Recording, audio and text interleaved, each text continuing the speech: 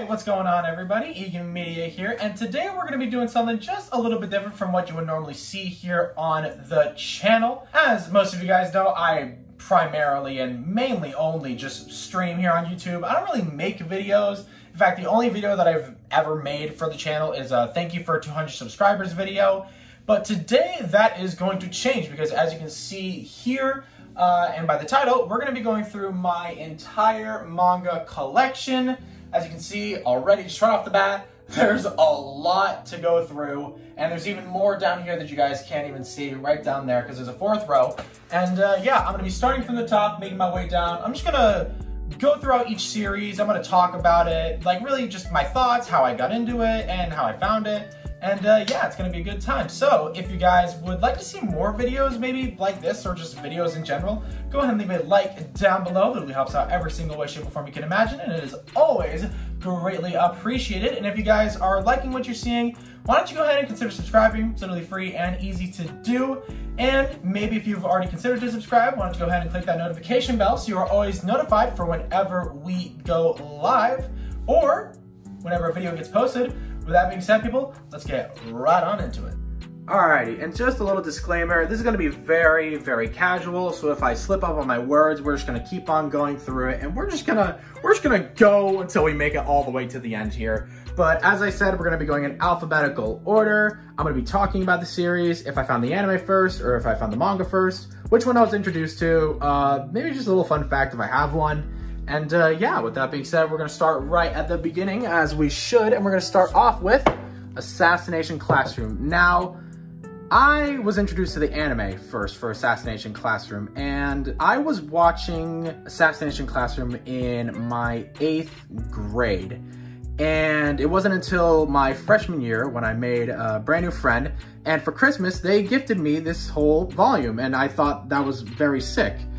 Maybe one day I'll go and collect the rest of them. I don't know. I know that there's a bit of them, but uh, yeah, and fun fact, every volume cover has, or at least for Assassination Classroom, has this sort of silly looking face on it. Whether it's, whether like the background is like a different color, so if it's like pink or green, or if like there's a, a, a setting drawn to like a field, this face is always somewhere in one of the volumes. And I think that that's super funny.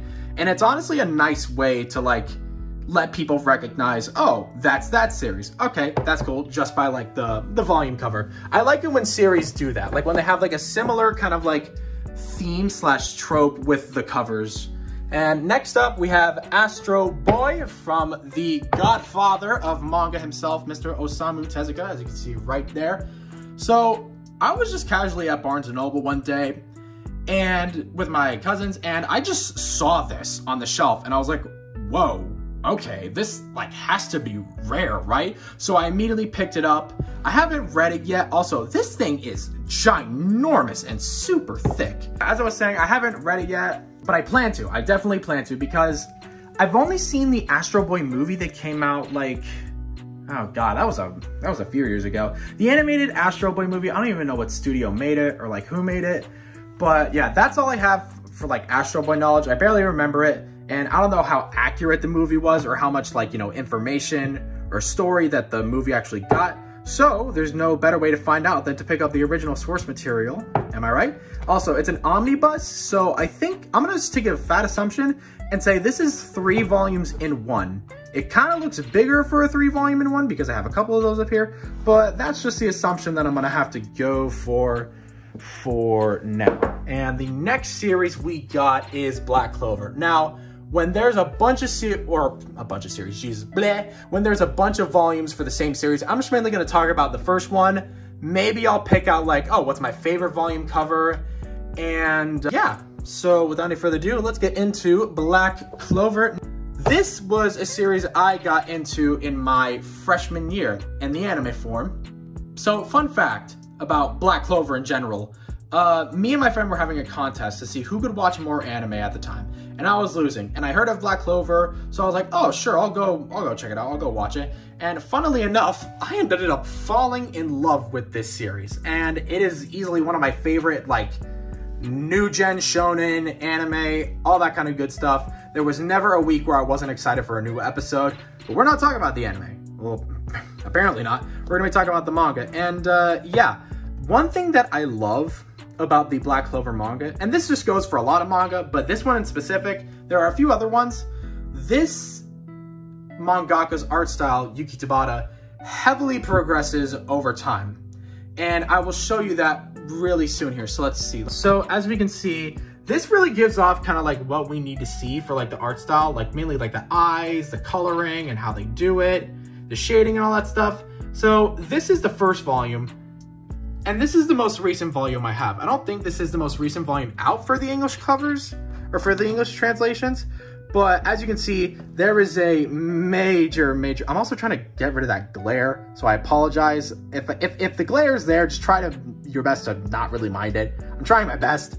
Um, but uh, you can really see an art style progression, and that's one thing that I love to see over like a manga's lifespan. It's just how the art style progresses, and uh, yeah, I seriously love this series so much. And if I had to pick a favorite volume cover, it's either gonna be volume four or it's gonna be, oh wait, no, I take that back, I take that back. I know exactly what my favorite, god damn it, I'm trying to get this in. My favorite volume cover has to be this one for sure, easily. Volume 22. Also, by the way, spoilers for a good amount of these series if you haven't already seen these, but this is just such a cool cover. At like the whole meaning and who these two are and everything that that means for the series, oh, it's just, it's just done so good. Now, let me struggle to put these back real quick as I talk about the next series that we're going to be going into. And that series just so happens to be Bleach. Now, I found Bleach as an anime before I found it as a manga, as I'm sure most people in the West did, as it is the as it is the first one we will be seeing here of the big three, and I have at least one volume from every one of the big three. But uh, no, yeah, we got the first volume here, and this is Earlier in the video, I was talking about, I love it when a mangaka keeps like a certain theme or like a general theme at least for all the volume covers. I like it when series do that, like when they have like a similar kind of like slash trope with the covers. Bleach has my favorite one for keeping it like pretty consistent, honestly uh, because most of the volumes, or like pretty much like every volume, it's just a white background with a character there. Sometimes character reappear, but like this is like a classic, classic one. And like, you can't go wrong with the volume one cover for explaining it. And uh, yeah, I think Bleach is honestly heavily slept on. And um, we got, actually, you know what? We're gonna go through those two. We're gonna go through those two. I was gonna save that for last just because, oh boy, see, yeah, see, this is, this is gonna be a difficult mess.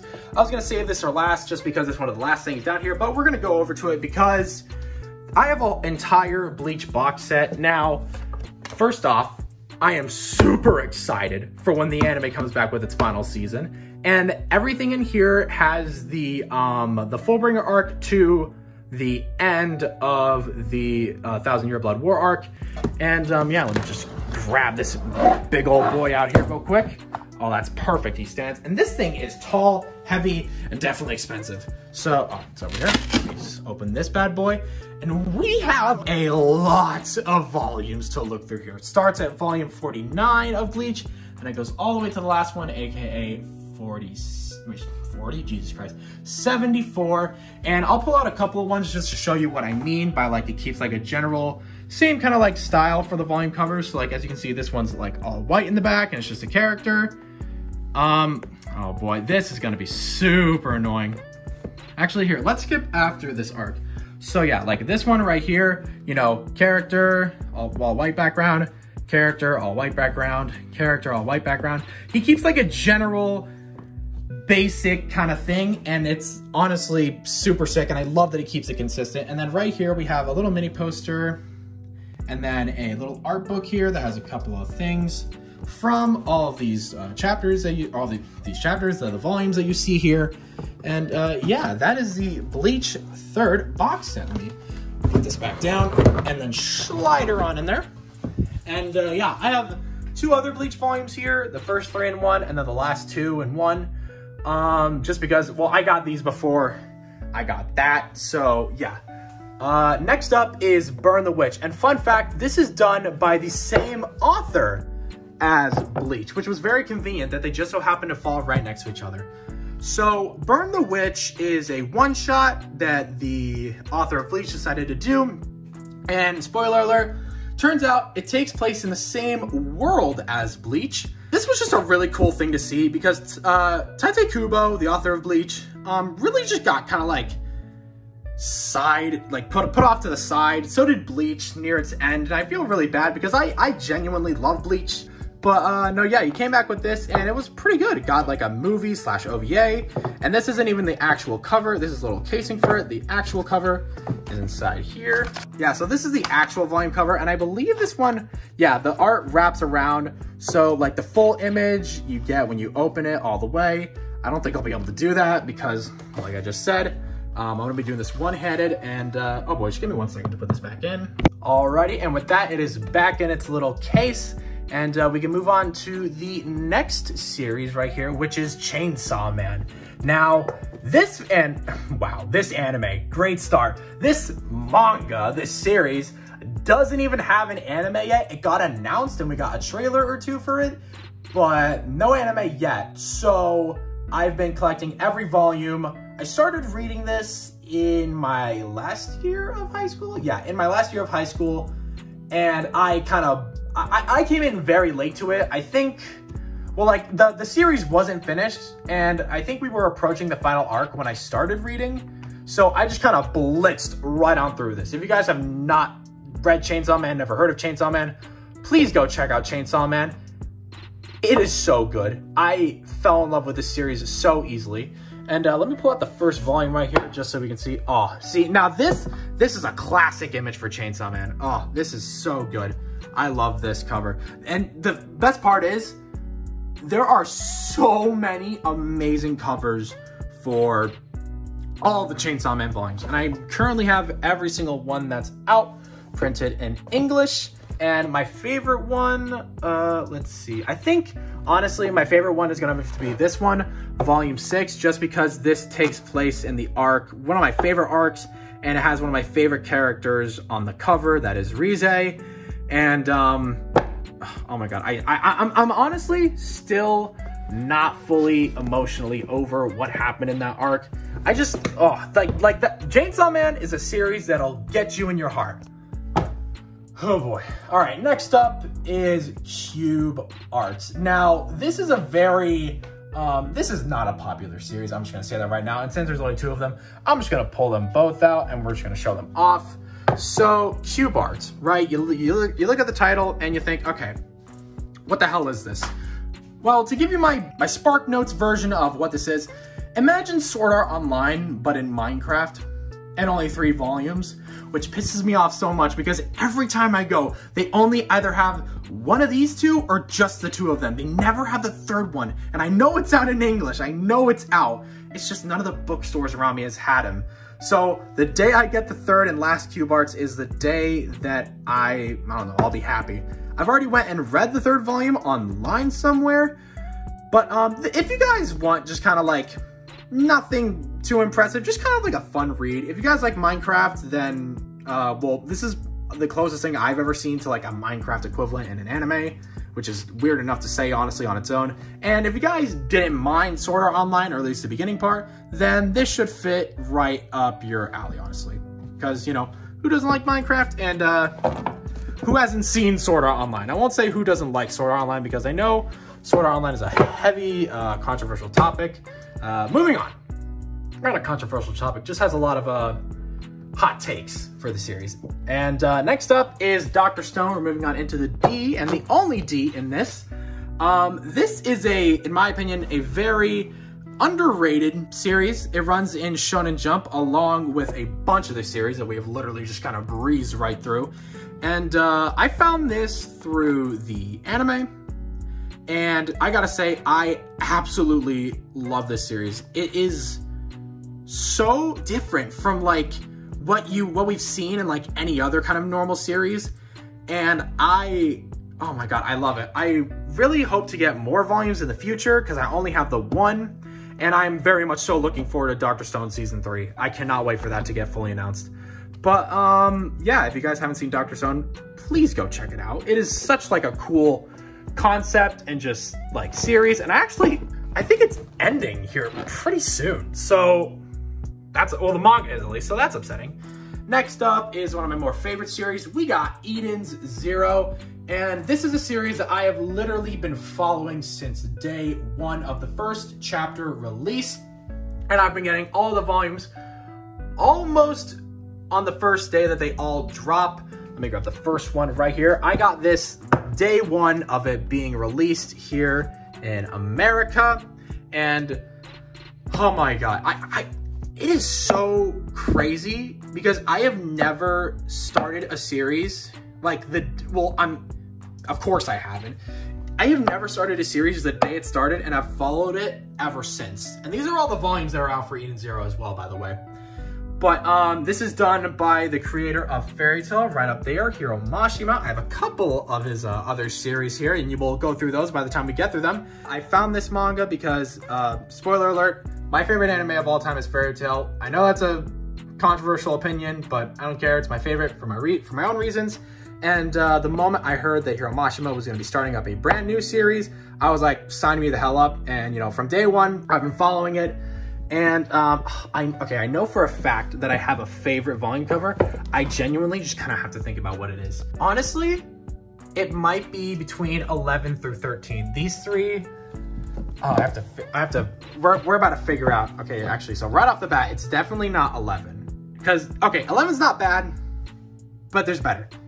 12 is a high, high, high contender, honestly, because this looks, that is just so cool. And this was such a good part of the story as well. 13, I just love 13 just because it's so wholesome. They're all at the beach. They're all having fun. Look at everybody. Look at the silly little octopus and all the fishies and the crabs and all that stuff. I love it. I love it. so wholesome. But I think my favorite volume is going to have to go to volume 12 right here. Um, just because, like I said, it was take place in such a cool part of the story and it just looks so cool.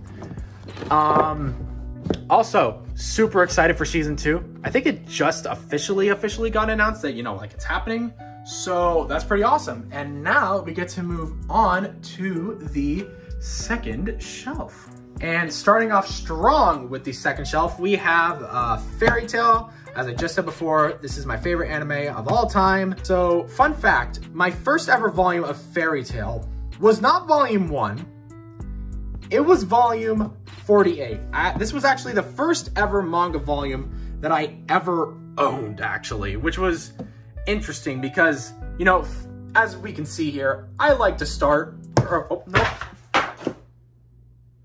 that was uncalled for. As I was saying, as you guys can see, I like to start from volume one and then work my way up as almost everything we see here is either a volume one, actually, no, everything here does start with volume one. No, yeah, that's factual. Okay, well, yeah, I don't really like to start with anything other than the first volume. I kind of like to work my way up. But for some reason, uh, little old me at my second ever convention was like, you know what? I'm going to pick up a Fairy Tail volume because I want to start getting into manga now. And uh, it just so happened to be this one. But honestly, I don't regret it. This has so many sick moments in this arc, which is the Tartarus arc. I've reread this, I reread that one specifically so many times and um, oh my God, I just love it.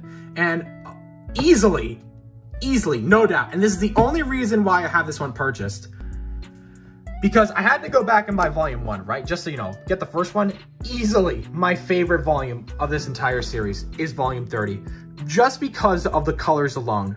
There is no other volume like Fairy Tail that just that is just kind of like one big image. And with the colors, oh, the blue and the black just work so well. The moment I saw this in my local, like, you know, like bookstore, I was like, oh my God, I I need that. Like that, that is just a beautiful one. And I am having a very difficult time getting this in. Come on. There we go. And uh, yeah, I've collected a little bit of Fairy Tail 100 Years Quest, uh, but I haven't picked up anything ever since the third volume. And let's see, do I have a favorite? It might be that one. I don't think it's, actually, yeah, it's this one. It's definitely this one. This one's easily my favorite cover. Now, for the ones that I own at least, for the ones that are out, that's, uh, that's a different story. Moving on next to Fooly Cooly. Now, this was an extremely insane find because first off, if you guys know what Fooly Cooly is, Fooly Cooly is uh, the greatest fever dream you will ever watch. I found this through the anime, And same thing with Fairy Tail, I forgot to mention that. Found Fairy Tail through the anime. And I found Fooly Cooly through the anime because there wasn't a manga for Fooly Cooly to be Fooly Cooly to be based off of. Fooly Cooly was an anime project first. It's just six episodes. Well, at least the first season of it does. There were two more, I think, that came out afterwards. But uh, I'm I haven't read this yet. Um, but I definitely look forward to reading it. And as you can see, if you guys have watched Fooly Cooly, this is a very interesting art style choice for the uh for you know to represent it because the anime art style is very much so different from uh this manga art style. And on the back here we have a couple more characters. And the they, they like it, the first time i picked this up i was like who are they? But after looking at it for a little bit longer i was like oh my god that's them? Okay. That's an interesting choice. But no yeah um Fooly Cooly greatest fever dream six episodes long and i highly highly recommend it Cooly is such a good anime next up is Gintama. Now, I literally just got these the other day. And um, so fun fact, uh, I have a friend, they were selling a bunch of their manga because they needed to get rid of some for space. And I was like, okay, I'll take a look. What do you got? And this was one of the first things that they showed me. And I was like, um, yeah, I'm taking this. Because uh, for those of you who don't know, in the West here, good old America land, right? Uh, Gintama really isn't um shown the love it deserves. Now, I have not watched the anime. I have not read the manga. I've just heard stuff about Gintama, but I the one thing, the one thing that I do know about Gintama is that everyone who has read, watched, however they took in Gintama, has had absolutely nothing but amazing things to say about it. And I genuinely look forward to figuring out about it. But as to why I picked these up immediately, like I said, in the good old West, America land, nobody has decided to either dub the anime or sell an English version of the manga. Now you may be saying, you have four of them right here. What are you talking about? Stop the cap, right? But the thing is, is that way back in the days of early Shonen Jump manga getting published, this was one of the series that they first did. And then after, like, I don't know when they stopped doing it, but after a while, they just entirely stopped localizing the Gintama volumes, which is honestly really, I don't get it because from what I've heard, Gintama is insanely loved by everybody in Japan. And obviously, as I've heard before, through everyone, you know, everyone who's seen it has absolutely loves loved Gintama. And this is another series that sort of follows like the same kind of like pattern as like volume covers. They all sort of take place in space with having a character surrounding them, or surrounding them, with a character in the background of it, which is really cool. And uh, yeah, I am very much so looking forward to starting this. This is probably going to be one of the first ones I start reading whenever I get the time to. I have a because I have a bunch of these, not a bunch, but I have a good amount of these that I haven't read. Speaking of ones that I haven't read yet, is this next series called Goldfish. Now, I literally know absolutely nothing about this series. I was in a bookstore, Barnes & Noble one day, and I saw this and I was like, oh, this looks very interesting. And I pick it up and I look at this and I'm like, whoa, this is one hell of an art style. And one thing that I'm here, one, and then I open the pages, and then this is like one of the first, this is like one of the first pages that you see. This is beautiful art, and I absolutely love this. I'm very interested to see what the hell this series is about, because I genuinely couldn't tell you much other than what's on the back here. Apparently, this boy can turn whatever he touches into gold, so that's pretty cool. I'm sure that'd make out for a good series. And next up, we got Haikyuu, and I have seen the first uh, season of Haikyuu. I started the second season, just sort of stopped watching, not because I didn't like it, but just because I kind of fell off. I plan to go back and, you know, go back and just finish Haikyuu, but I picked up the first volume, and uh, yeah, honestly, it looks pretty cool. I don't really have much to say about Haikyuu. Next up, we got Hiro Mashima's Heroes. Now, this is a, just in general, a super, super, super cool and awesome, uh, like, series slash idea, and I will explain that in just one second. So, Hiro Mashima's Heroes. Why is this so cool? Well, for those of you who have been paying attention and remember, this is done by the same person that has made Eden Zero and Fairy Tail. Now you might be thinking, well, what the hell is Heroes? Well, if we take a simple look at the cover right here, This is a crossover between all three of his series that have been published. Published. Blah. And that alone in itself is super cool because he has three series. He has Rave Master, his first series, Fairy Tail, his second one, and then Eden Zero is the current one.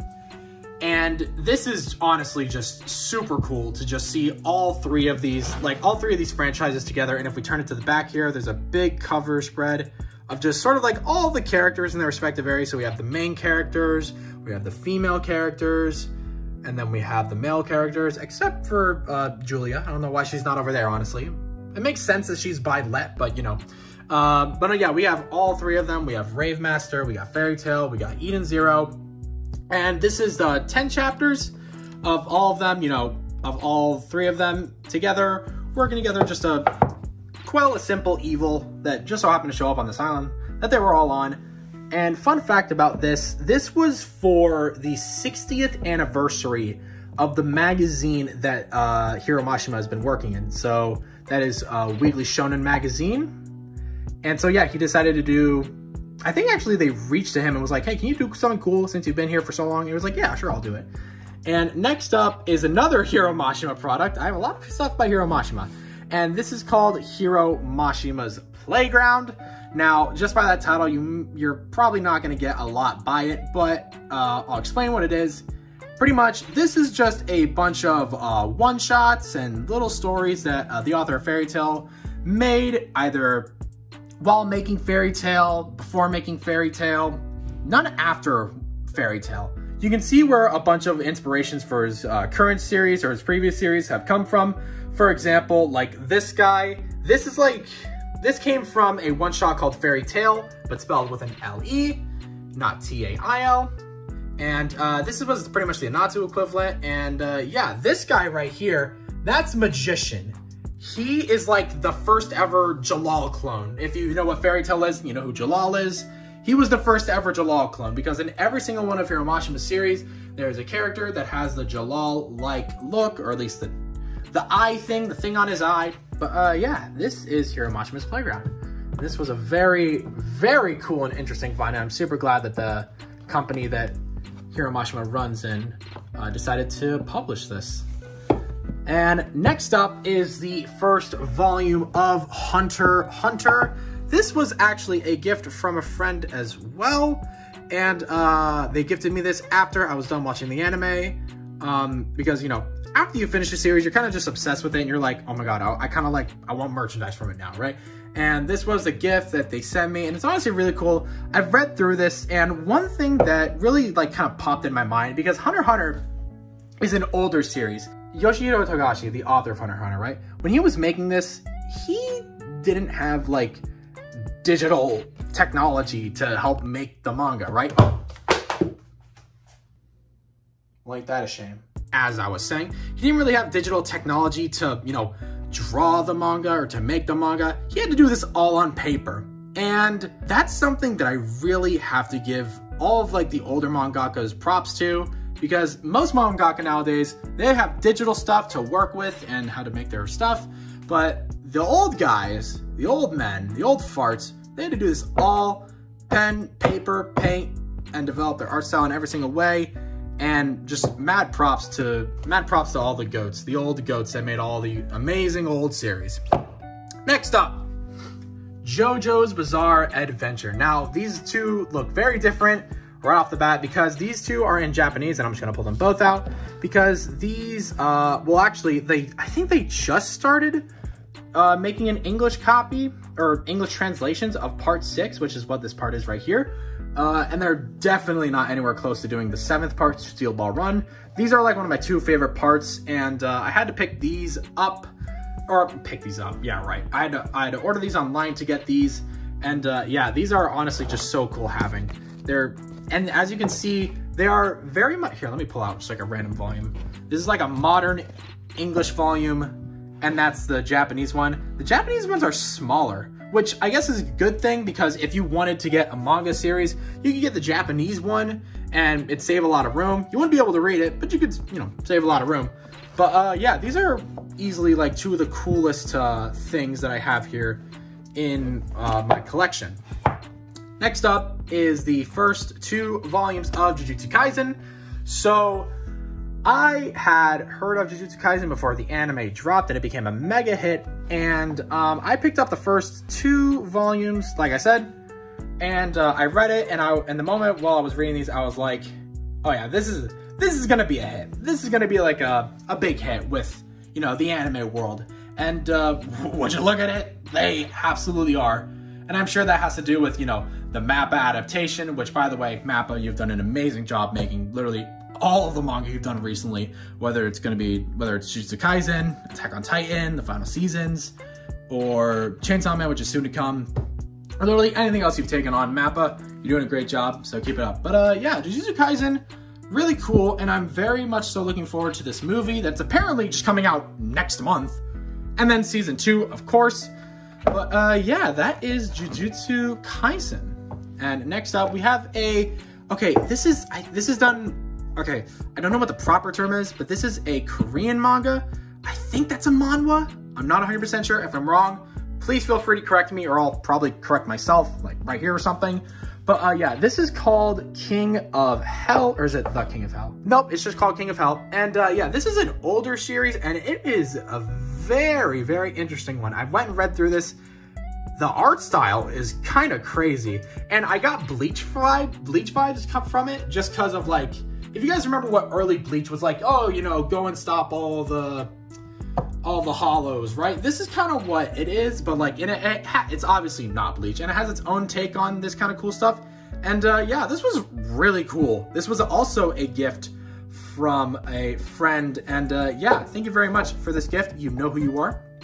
Moving on to the next one, we have Mashle. This is a brand new series in Shonen Jump uh, Mashle Muscles, or Magic and Muscles. Um, I heard that this one's popping off right now. Oh. Son of a bitch. As I was saying, uh, I heard that this one's kind of popping off right now, or at least what's with, with what's happening in the manga. Uh, has not gotten an anime yet or an anime announcement, so we just have to wait and see for that. I have not read this yet. I have to read it. But um, this is, imagine like One Punch Man, but like the world is magic and obviously he's One Punch Man. So he has no powers or anything. He's just a super strong guy, a lot of muscles. And uh, yeah, I've heard that a lot of people like it. Next up is My Hero Academia, Vigilantes.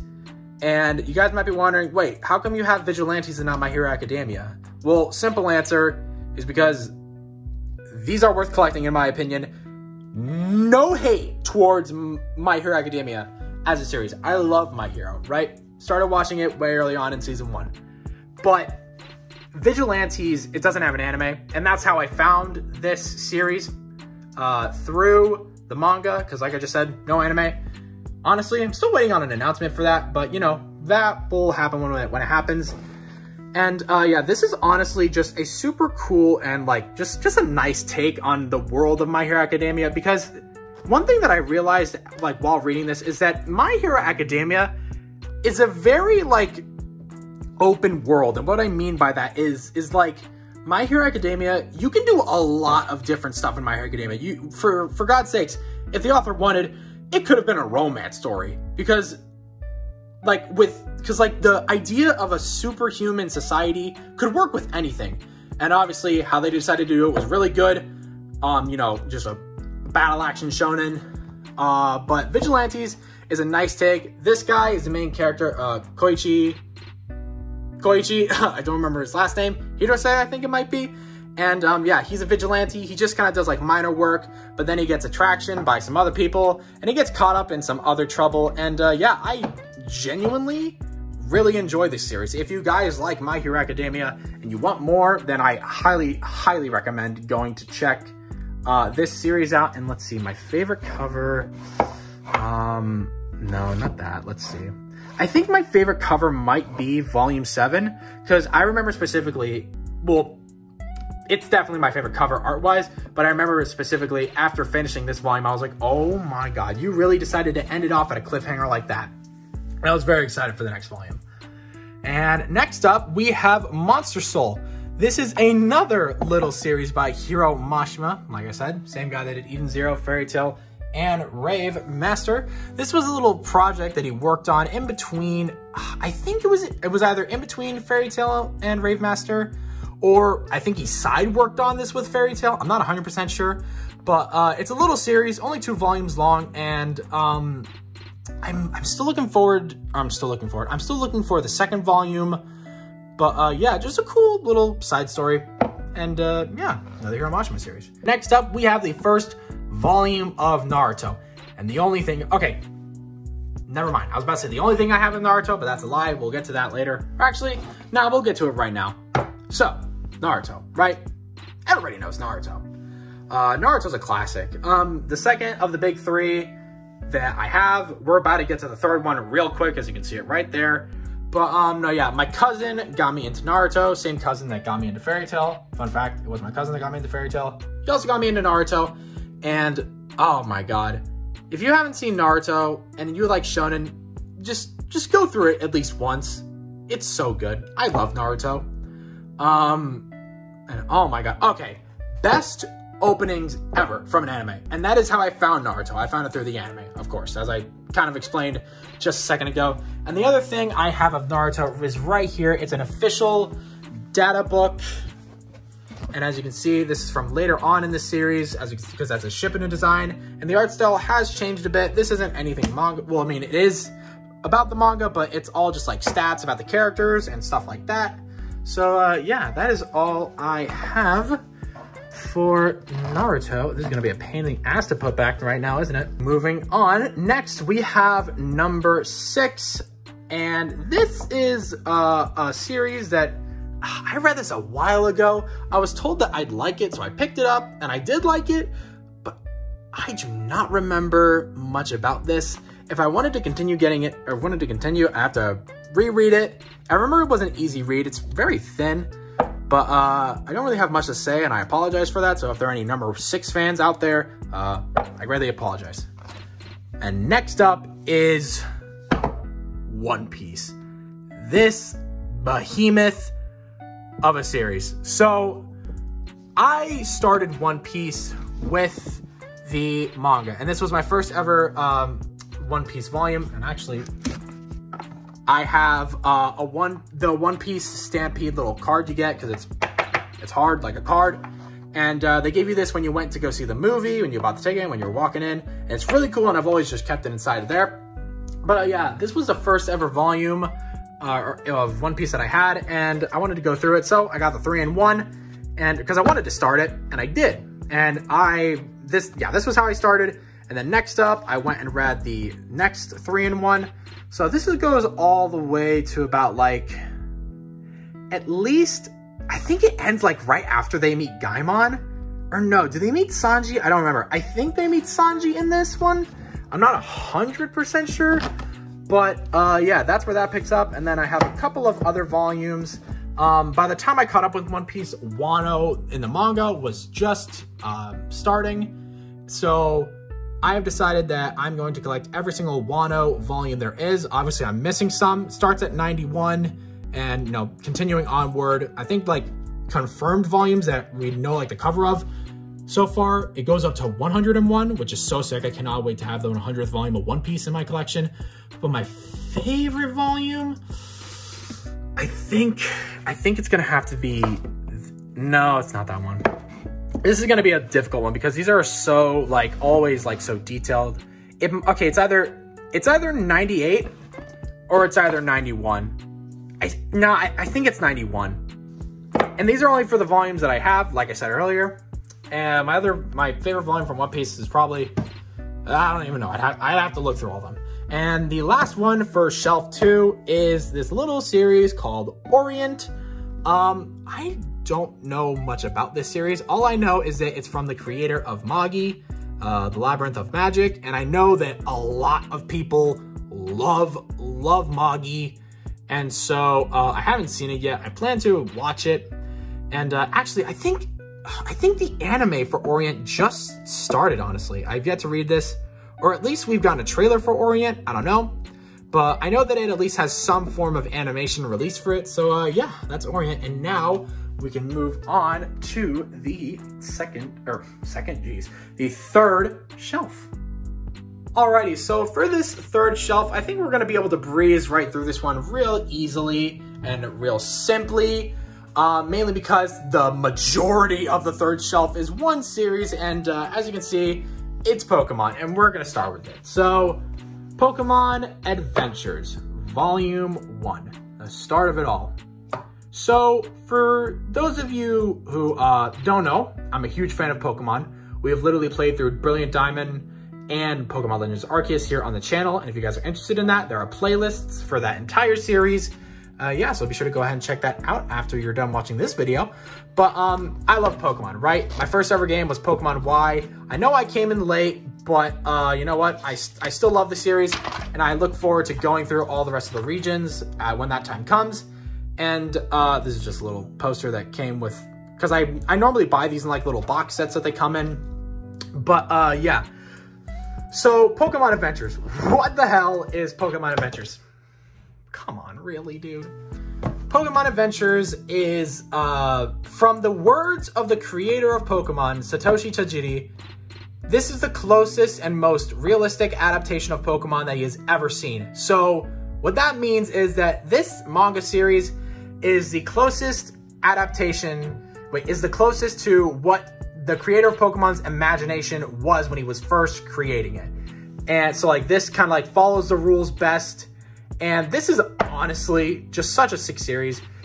The anime for Pokemon, it's good in some parts, but it, it, it, it could be really a whole lot better. That's what the manga is for. I'm just kidding, that's not what it's for. But um, I really wish that this would get an anime adaptation. This has been going on for years, and I love this series so much, as you can obviously tell. Um, but as for, actually, let me pull this right back out. As for who this follows, uh, these go through every region that we have been through, and mainly through all the games as well, because they're separated and divided into like what the names of the games were, and I'll show you that later on as we continue.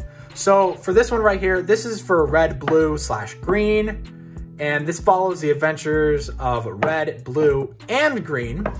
And then I think it's in volume, is it in volume four? Yes, it is in volume four where we go on to Yellow.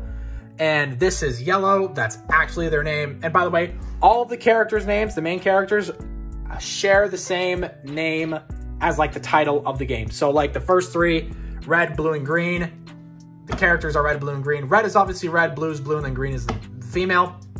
And then this is yellow. Some of these, some of the characters here are original characters, but most of them are the ones that you play as in the game. But uh, yeah, and then this goes through Kanto all the way through volume seven. This is the last volume of Kanto. And this, this was honestly such a fun read to go through the first time. Next up, we go through Johto. This character is Gold. That's the name that they decided for him. And um, come on, work with me here. And let's see, is he on this cover? Yes, he is. There we go. We got Silver there. And is she on the third one? Yes, she is. This is Chris, for short for Crystal. So, yeah, this uh, Johto is honestly really, really sick because it, or you know, Johto and Kanto are combined. They're literally like right next to each other. So the Johto storyline is somewhat tied in with the Kanto storyline. And also, this does not have the typical, okay, well, it does have the typical like Team Rocket, you know, evil team, yada, yada, yada. However, it adds in a whole lot of new members of Team Rocket that weren't in the games. They came up with these, and it's honestly such an interesting take on some of the characters because all the characters that they add into the evil teams are characters that we've seen before in the games. And it's just so interesting to see like how they would operate in Team Rocket. And that mainly goes for Team Rocket, not really for the rest of these. But this, uh, the Johto saga goes all the way from volume 8 to volume 14. And this is a thick volume, actually. This is a very thick volume. As you can see, we have like literally all of the characters here. We have gold, Chris, yellow, red, silver, blue, uh, green. By the way, can I just say, I love green so much. She is easily like one of my favorite characters from this, from this entire manga series. Next up, we got, uh, let's see, we got Gen 3, aka Hoenn, aka the Ruby and Sapphire games, and ignore why I have two of the first two of the first volume of it, volume 15. And uh, as you can see here, like you can assume that's Ruby, That's Sapphire. And a cool thing about this is that they switch like what you would expect these characters to go to because we follow through with both of them, right? Okay, nope, let's not fall. And fun fact, Brendan, or Ruby, God, I just called him by his game name. Ruby does contests and Sapphire does like the gym battles and battling. Well, Ruby battles, but he prefers the contests. He's actually a super great battler, and you get to learn why that's the situation as you progress with the manga. It's very, very cool. Very, very cool. I love uh, the Gen 6 iteration of this manga. And then next up, where is it? Okay, this is the last volume of Ruby and Sapphire. There is an Emerald section. I have read that. I do not have a physical copy of it. And then uh, next up is, oh wait, no, never mind. Well, I mean, I, I still, I don't have the volumes for it, but I was gonna say Emerald comes after these games. I was wrong, I forgot, because as you can see here, I have volumes 20, 21, 22, 24, and 25. You may be saying, what the heck? Obviously, I'm missing volume 23. Volume 23 is the start of the Fire Red and Leaf Green little saga. Consists of three volumes, pretty short, but uh, it's it's all right. It's not that bad. We get to visit or revisit the Kanto main characters, and it's really cool. And lastly, for the Pokemon, uh, we have Diamond, Pearl, and Platinum. They decided to bunch this all up into one, which honestly, I'm not mad for. And uh, we follow we follow with all three of these characters. Obviously, Pearl, Diamond, and Platinum. These are all their all name all their names.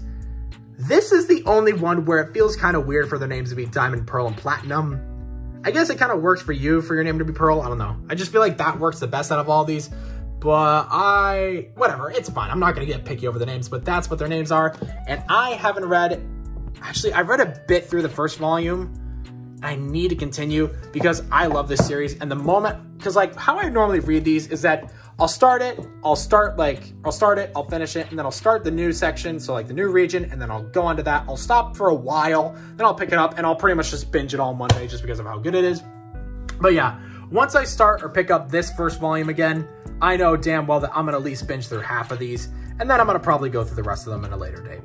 Moving on out of Pokemon into Rave Master. Now, this is a old series. This old yeah, old from like 19 late 1990s ran through 2003, I believe, or 2005, one of the two. I don't know why I can't get the right the right year in my mind, but went through the one of those, right?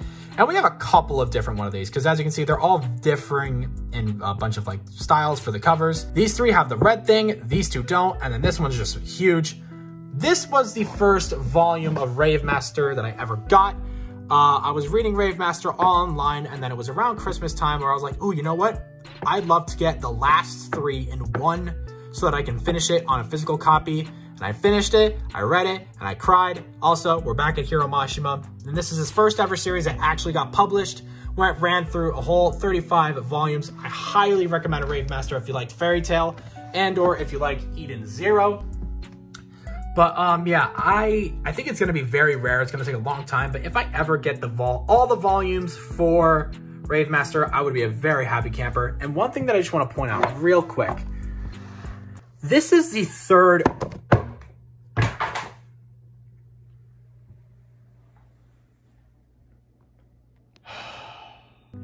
As I was saying, this is the third volume for Rave Master. Now, if you remember what the other volumes for Hiro Mashima's other series looked like, this is, um, you can see that this is where he started easily. Just based off of like, you know, the anatomy, the characters, and how like the art style and all that good stuff. I'm gonna pull out a couple of other Hiro Mashima volumes and we're just gonna compare and see how his art style has progressed over time. Alrighty, so right here we have a couple of Hiro Mashima series and um, we're just gonna go ahead and look through the general art progression. So like I said, this is the third volume of Rave Master, pretty early on in the series. Then we go on to the last three volumes, and this, this cover specifically is for the last volume of Rave Master. You can automatically see an immediate, immediate progress in art style and just art in general with this one. It kind of reminds me of like a kind of like early One Piece art style. But yeah, that's that's beginning of Rave Master, end of Rave Master. Next up, we have the first volume of Fairy Tail. You can see a bit of progress with uh, the characters and the anatomy and some stuff. Uh, Happy looks deranged as all hell. Jesus Christ, it's kind of terrifying. Next up, we have Monster Soul because this came out around the same time as the first volume of Fairy Tail. Next up, and th th this is the real big progress one. Look at this. And this is the last volume of Fairy Tail. His art style and just his art in general has increased to a insane level and degree. It's genuinely insane, and it's honestly one of my favorite things from reading a Hiro Mashima series is seeing his art style progress. Then we move on to Eden Zero, the first volume of Eden Zero. And you can see some bit of progress, a little bit different shading styles, a good amount of stuff. And this is the most recent volume of Eden Zero. As you can see from out from throughout this man's entire career of making manga, he has drastically improved from this being the third ever volume that he ever made and published to this being one of the most recent ones. And props to you, my guy. Keep making your great manga. I will definitely continue to read all of them. And uh, yeah, that's just a little tidbit that I wanted to just bring up and talk about. Whew. Alrighty, with that being done, we can move on to the next series, which is um, Ro Rosario Vampire. Now, um, if you know what this series is, you know what this is because of the anime, and I don't want you to lie, because there are not a lot of people who have given this series a second thought after watching the anime. That means that they would not go ahead and read this, the manga if they were interested in the anime, because let me just say this right now. I watched, this was one of the first few anime that I ever watched. I watched this in the sixth grade, and let me just say, that is not the appropriate grade to be watching an anime like this because they went ahead and turned this series into the most fan service, sexy, ooh woo kind of thing you can imagine, derivating entirely away from the original source material and just going ahead and making whatever the hell they wanted. Now, as you can see here, this is the first ever volume and it says, you know, nothing right here, but if we look over at this one, it says season two. The manga was separated in seasons just as an anime would be. And the entire actual anime first season of this uh, series um, did not even cover everything in the first season of the manga. Which was um, very interesting. And literally the I think that they mainly only captured like one key arc from the entirety of the manga's first season.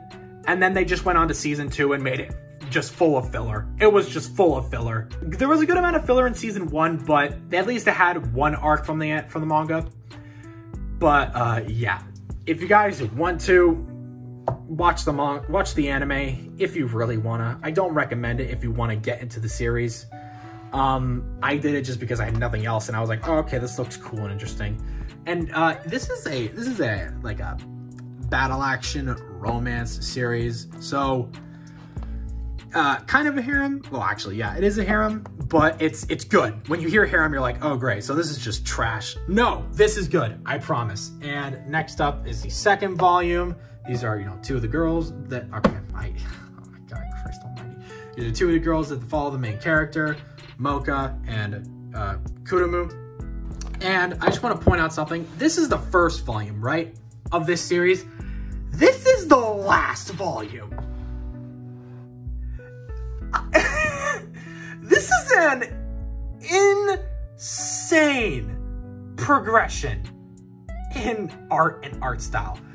Like, I, if you told me, if you had hid these like titles and you just showed me these, if you asked me, hey, do you think this was made by the same guy? I would have said probably no, and that these characters just look somewhat alike, same hair color, same eye color.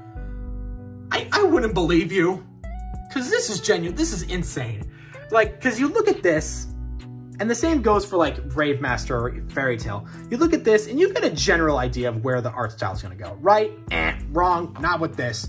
This is the final volume oh my god, this is this, this, is a, this is just such a good series.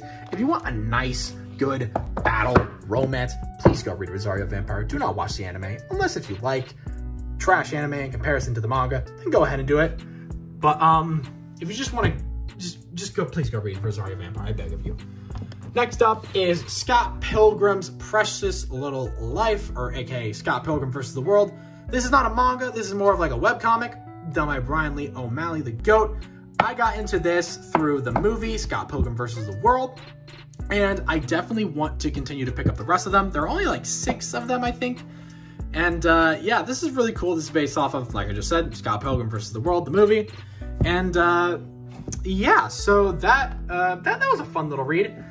Next up is Tokyo ESP, and this is a very obscure and different series. Um, this isn't really mainstream at all. Like, it's not, like, you know how there are some mainstream anime, like, you know, Dragon Ball, Fairy Tail, One Piece, My Hero, and then there are, like, some lesser mainstream anime, like, like, uh, what do we got here? What do we got? Like Assassination Classroom. Like, that's not the most popular thing, but obviously it has a fan base. Like Dr. Stone. Yeah, this is like underneath those in popularity. This is a very not so popular series at all. Um, but the only reason why I picked this up is because I watched the anime. And the only reason I watched the anime was because one of my... God, really, dude? Come on, I thought we were done with this. As I was saying, the only reason why I went and I picked up these volumes is because I watched the anime, and the only reason why I watched the anime is because of, um, if you guys grew up with Minecraft, you may know of this little YouTuber called uh, SkyDoesMinecraft. Yeah, he voiced acted the male main character in this series, and so at that time I was in anime and I was still watching his stuff, so I was like, oh my god, that's so cool, I gotta watch it. And uh, yeah, the anime ended, didn't get a second season, and uh, I think this is all I'm gonna be reading for Tokyo ESP. It, um, yeah, it's, it's not bad, it's just not my cup of tea. Now this next one, and I have some explaining to do because, uh, okay, To Loveru. If you know what To Loveru is, you know what To Loveru is. If you don't, um, this is, okay, I'll explain what it is and then I'll explain why I even own this thing. So To Loveru is a ecchi romance harem series and this one is bad. Th th th this is a bad one. This is a bad one. Um, and the only reason why I picked this up is because here's a little fun fact. Throughout everything, of all of them being through Shonen Jump, which are a lot, a lot of the first shelf is Shonen Jump. You have Assassination Classroom, Black Clover, Bleach, Chainsaw Man, Doctor Stone, My Hero, One Piece, a lot of the bigger popular ones, they all come from Shonen Jump. And a little fact about Shonen Jump is that it is very, very, very difficult to stay published in Shonen Jump to keep to keep being serialized in Shonen Jump magazine. Because if your if your series is not doing them numbers, then you get the axe and you're out of there. There are so many series, like recently I've seen, that got axed super early and prematurely by Shonen Jump some even only get 13 chapters then and then just get cut. Example of this is uh, the creator of Naruto, Masashi Kishimoto's second series, Samurai 8. That shit got axed. They gave it a chance. They gave it a chance. They let it run on longer, in my opinion, than it should have been. They gave it a chance, but they had to cancel it just because it wasn't doing numbers, good enough numbers, and uh, yeah. This was in Shonen Jump, and that first off surprised me because this series was able to finish in Shonen Jump. So my curiosity was piqued when I was like, okay, how did a stupid little ecchi harem series like this, that's not good, unlike something else right over here, manage to stay through? I picked up the first volume, started reading through it, and I quickly learned uh, a little fact about this, and uh, I decided to just keep this uh, right there. And I will not be reading To Loveru because I am a responsible adult and I will not be reading that. Anyways, next up, on the last thing on the third shelf is the... It's not even funny. I don't even want to do the bit anymore. It's not even funny. It's not even funny at this point. How rude. Last but not least on the third shelf is Your Name, both volumes one and two. If you don't know what your name is, this is, or this was for a time, one of the, this was, no, the best-selling anime movie. Oh my god, are you kidding me? I caught you. I caught you that time. This was the best-selling anime movie of all time. It triumphed over Spirited Away, and for good reasons. This is such, such, such a good movie. I watched this in theaters when it came out, and oh my god. It was so beautiful, done by uh, Makoto Shinkai and he, he has plenty of other movies. I need to watch them, honestly. They're so good. These are just the manga forms. Obviously, it's a movie, so it didn't come from a manga to begin with. These were drawn by an artist. Uh, let's see, who, who drew this? Ranmaru Kotone drew the art, and there's only one more volume of Your Name that I need to pick up. It's the third one, and then that's it. All for the Your Name manga.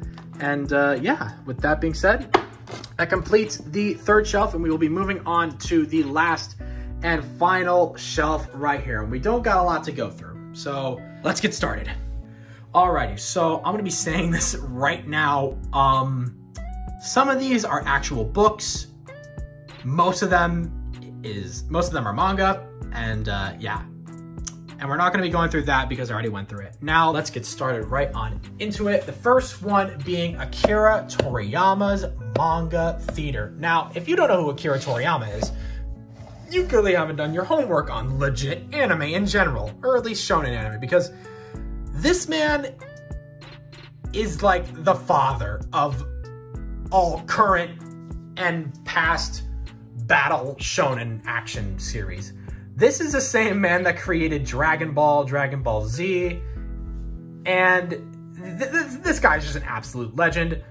If we didn't have Dragon Ball, we really wouldn't have a lot of these battle action series that have been inspired by it, like Rave Master, One Piece, My Hero, Fairy Tail, Black Clover. Like pretty much every every battle shonen series that came after Dragon Ball had some way of inspiration from Akira Toriyama's Dragon Ball. Even Bleach, like Naruto, like there are so many series that were inspired by Dragon Ball.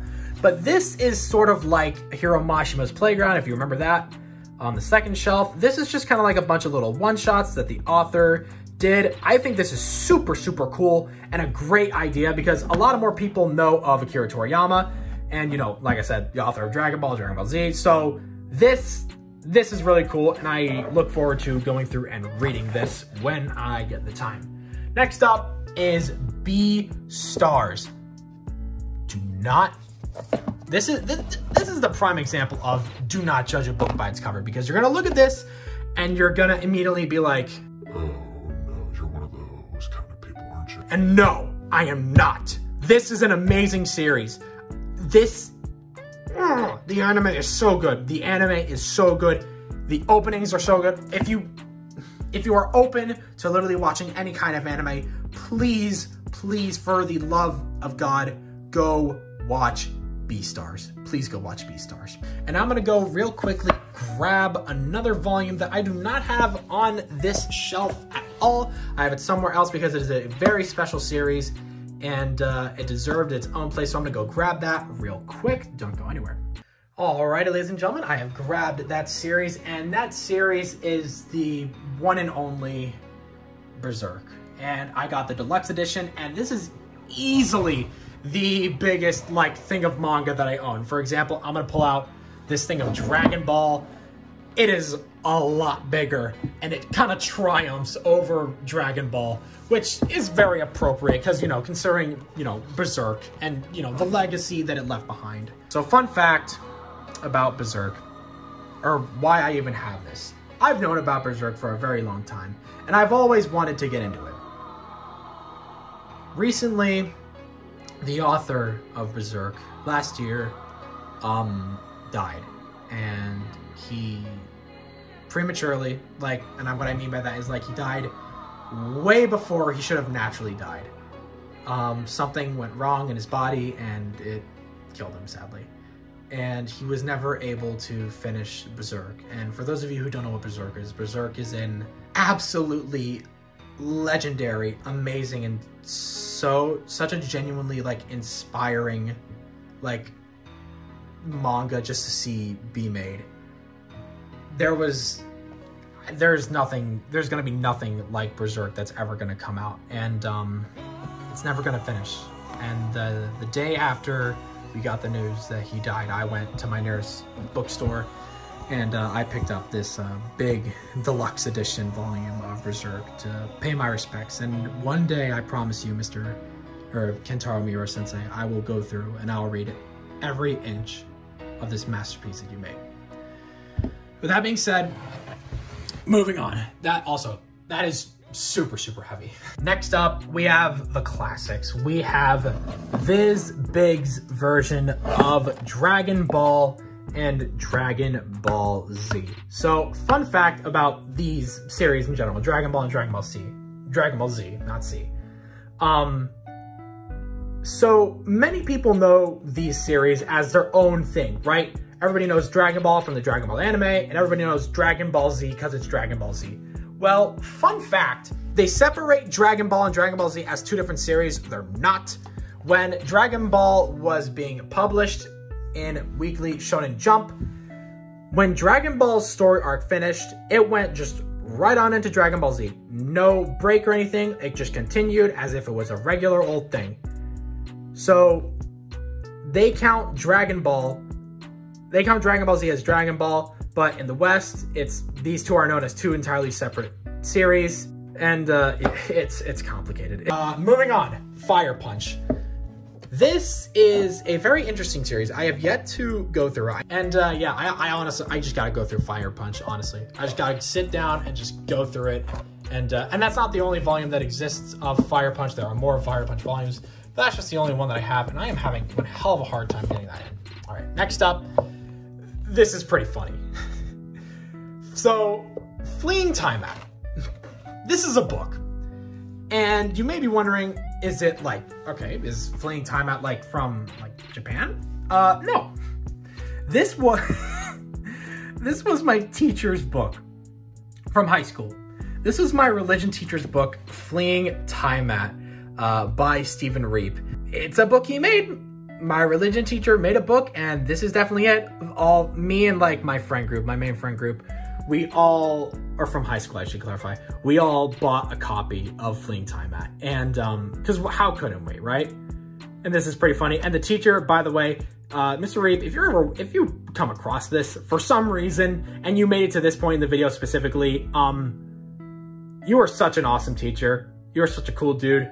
And, uh, I, I got through a lot of this. I have yet to finish it.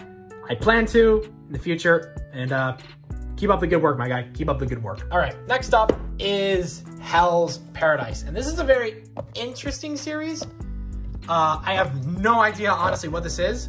All I know is that it's considered in the trio of like darker shonen titles that came out more recently, that being Hell's Paradise, Jujutsu Kaisen, and Chainsaw Man, because these three are more dark than, you know, your basic and current shonen series. Uh, although this is getting an this is getting an anime adaptation by Mappa. I'm excited to watch that. Hopefully, I'll be able to read through this before that drops, and just so I can be a little ahead of the curve whenever the hell that happens. And uh, yeah, that's Hell's Paradise. Next up, we got JoJo's Bizarre Adventure Part 4 specifically, um, hardcover.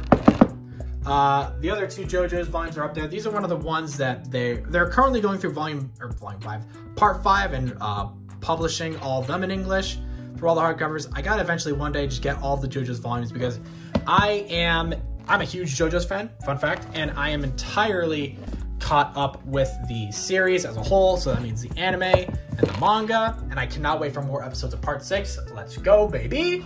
Next up is a book. And now I have read all the way through this. This is very rare because I normally never ever read through books, but this one is worth it because it is manga in theory and practice the Craft of Creating Manga by Hirohiko Araki. And this is made by the same person that made JoJo's Bizarre Adventure. So this is like a pretty gnarly guide for Joe, for like, you know, how to make manga. Because there's not a lot of like, I guess, tips or like tricks or like a book even on how to make manga except till this bad baby came out. And uh, I read this all the way through, and I was very enlightened on how Mr. Hirohiko Araki makes his manga and how he thinks people should make manga, or at least his tips for it. Next up is, oh my god, these are scrolling over. I'm not even gonna try. This is a My Hero Academia uh, pretty much data book. It's called My Hero Academia Ultra Analysis. And this is kind of like the same thing as the Naruto one over here, but except, you know, for My Hero Academia. I got back home because I was hanging out with my cousin. He gave me this as a gift. I think it was for Christmas. Yeah, it was for Christmas. Uh, when I got home, I kind of like went through this and kind of scoured through it all and just learned like all the fun facts through, you know, My Hero Academia or all the stuff that is not, would not be generally known by the basic uh, fans. So uh, yeah, that is super cool. Next up is Rent a Girlfriend. This is, okay, so I found this series from the anime first. I was recommended this and uh, just saying this now, I am not a very big romance anime person. The, the anime has got to be very interesting in order to keep my attention or to keep me even watching. Or I just gotta really like the characters. And for I don't know what it is about Rent a Girlfriend, but I honestly, I really enjoy it. I thoroughly, thoroughly enjoy this anime, and I am very excited for season two coming out later on this year. Um, I picked up the first volume because you know I always like to support the authors uh, in every way, shape, or form I can. And uh, yeah, so that's the first volume of Rent a Girlfriend. Now this next series, um, I'm I think this is another Korean one. I don't know, and if it's not, I greatly apologize for me being not uh, for not being so educated on this. But this is solo leveling. I've heard a lot about it, and uh, I've just heard so many like insane things. Like everybody loves it. It's crazy. It's good, and uh, a lot of hype surrounding it. So I decided to pick it up. I look forward to reading this one day. And uh, yeah, that is um, solo leveling. Next up, we have Tokyo Ghoul's first two volumes. For those of you who don't know what Tokyo Ghoul is, how do you not know what Tokyo Ghoul is? Second off, um, I haven't watched the anime for Tokyo Ghoul. I've only read through this first volume and I plan to read through the second one sometime. If I'm ever gonna get into Tokyo Ghoul, it's gonna be through the manga because I've heard that the anime is mm, didn't adapt it as well as it could have, and just some other issues that people have with it. But uh, I've heard that the manga is an absolute masterpiece.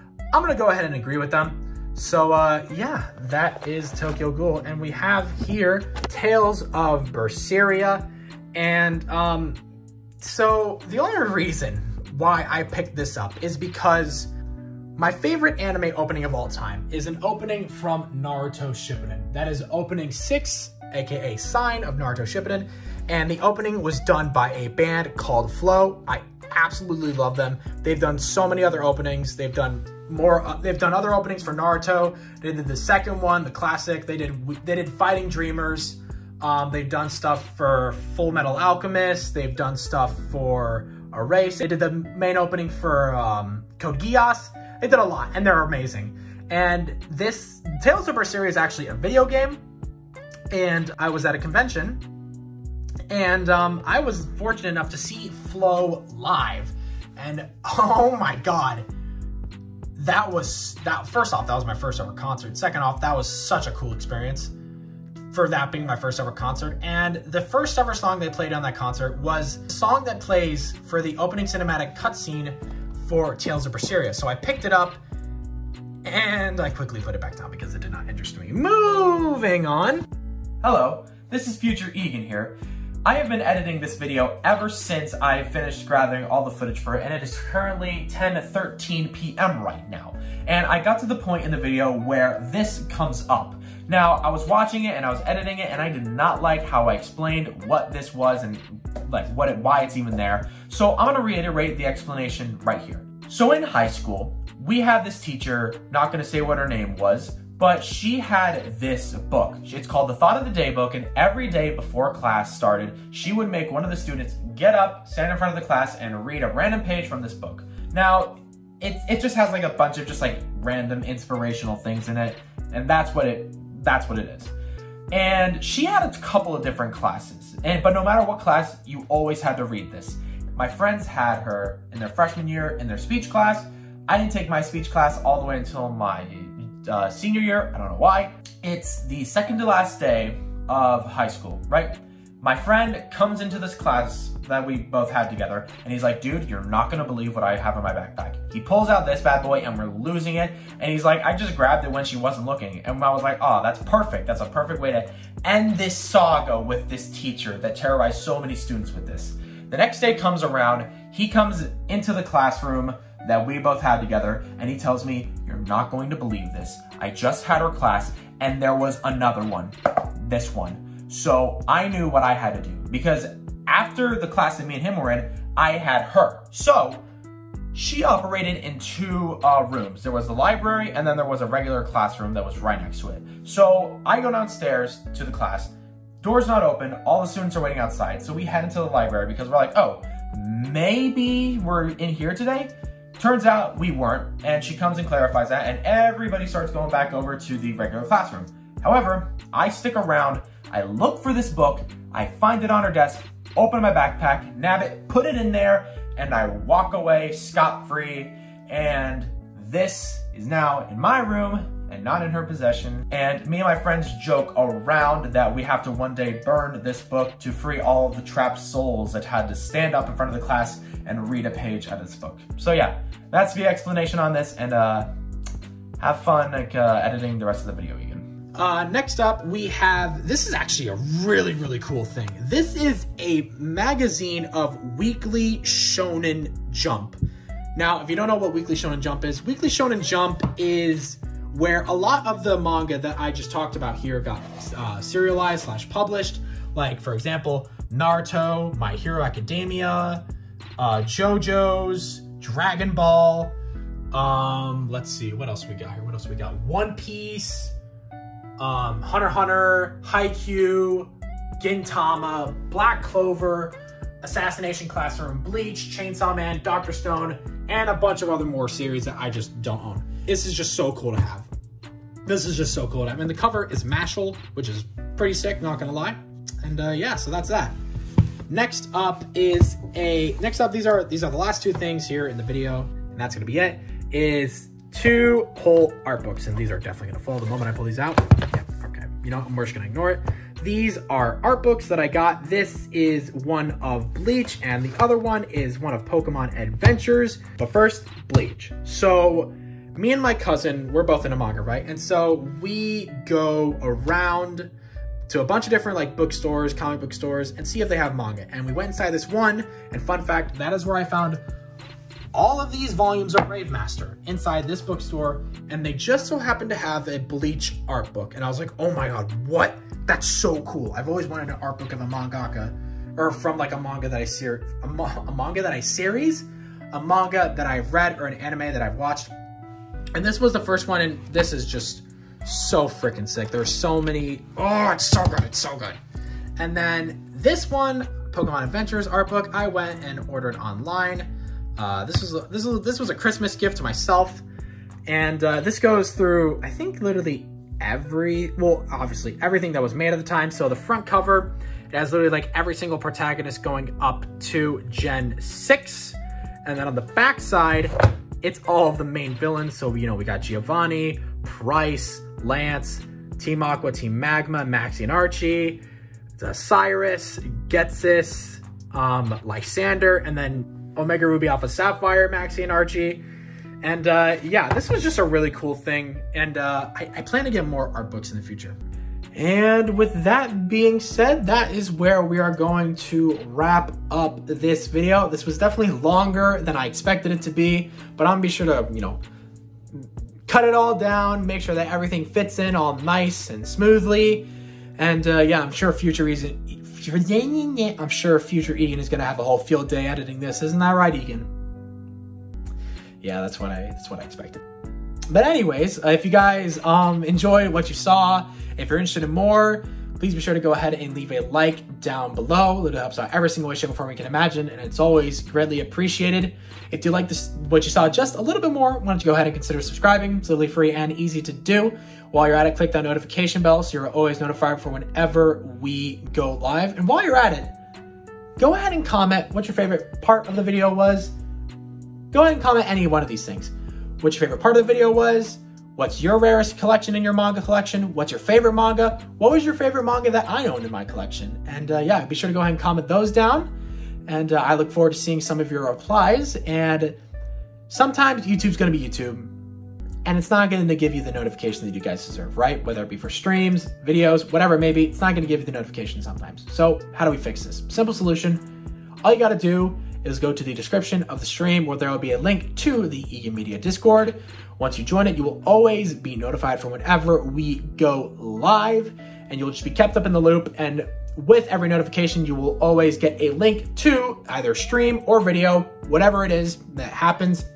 You'll always get a link to it so that you can always be the first one to see it. With that being said, people, my name is Egan Media, and I will see you all in the next one.